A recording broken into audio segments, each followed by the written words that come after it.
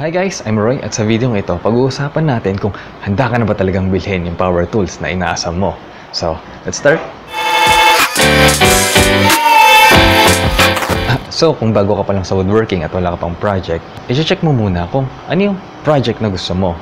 Kasi mahirap naman yon kung bibili ka ng isang tool tapos yun pala, hindi pala yun yung nababagay para sa project mo. Pero kapag meron ka ng project in mind, kailangan kung bibili ka ng tool, alam mo kung para saan yung tool na bibilihin mo. For example, yung project mo ay speaker box. Kailangan mo ng bilog. Pero ang gusto mong bilhin ay circular saw.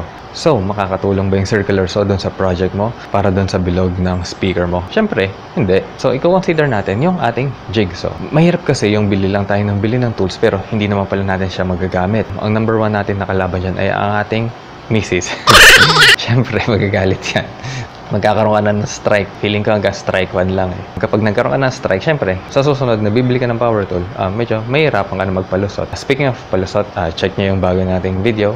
Dito sa taas ang ating mga palusot, bibili ng mga power tools. Kung meron ka naman ng mga experience um, sa projects mo, bibili ka ng power tools kapag kailangan mo lang shot talaga. Bibili ka ng power tools kapag kailangan mo lang shot talaga. Bibili ka ng power tools kapag kailangan mo lang shot talaga. Parang merong specific na job para dun sa tool na yon.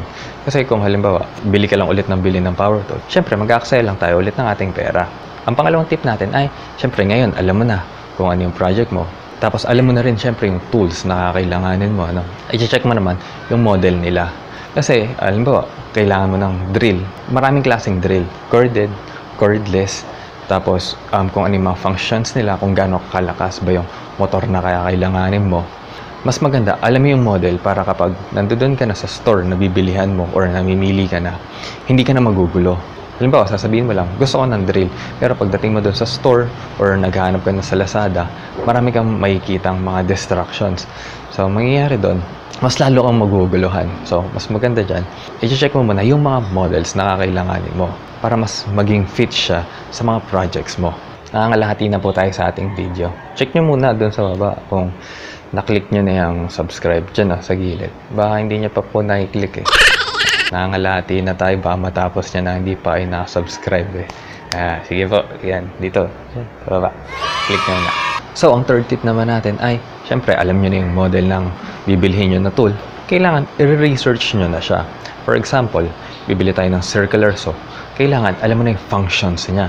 Alam mo na rin yung safety precautions niya. Uh, basically, alam mo kung paano siya gumagana. Alam mo kung ano yung kailangan mong ipihit, kailangan mong isaksak, anong mga projects yung mga magagawa mo dito. Alam ba, model lang yung alam mo, hindi mo inaral kung paano siya gamitin. Kapag nahawakan mo siya tapos isinaksak mo on the first time, excited ka eh. Uh, so, sobrang excitement mo, dito nagkakaroon ng mga aksidente.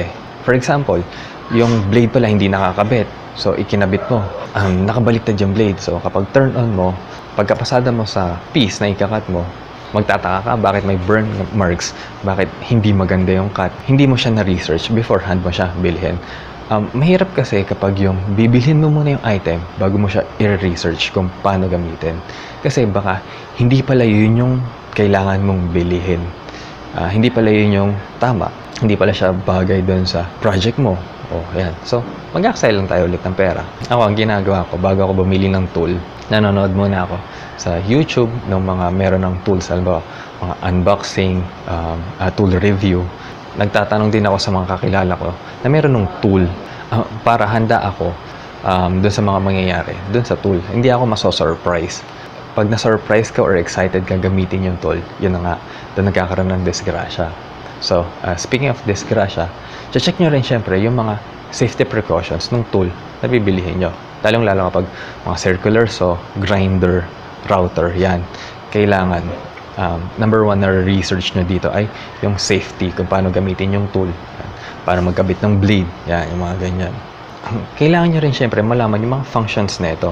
Pag nalaman nyo kasi yung mga functions ng tools na bibilihin ninyo, mas mamamaximize nyo yung tools.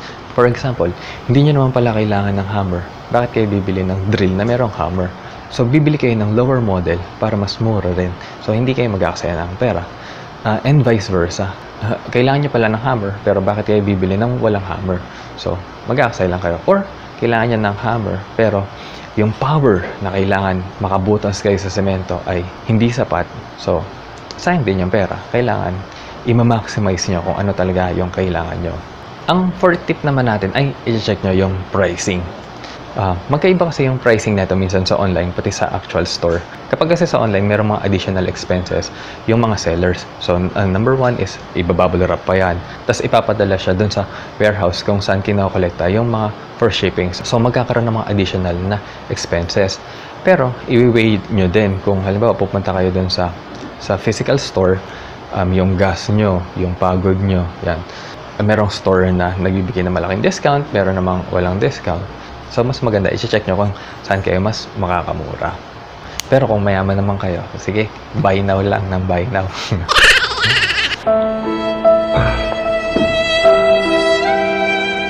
so, speaking of, of pricing po natin, ano, pwede po kayong sumali sa Bosch User Group Philippines para um, makita nyo po yung mga sale. Yan.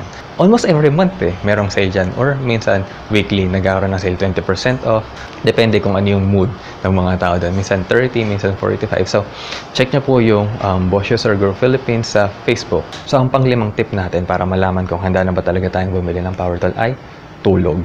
Kasi minsan, nakala natin, kailangan natin yung tool. Pero kapag naitulog natin siya, for example, 2 to 3 days or 1 week, um, yun pala, parang nagkakaroon lang tayo ng impulse buy. So, marami ako nakikita dyan.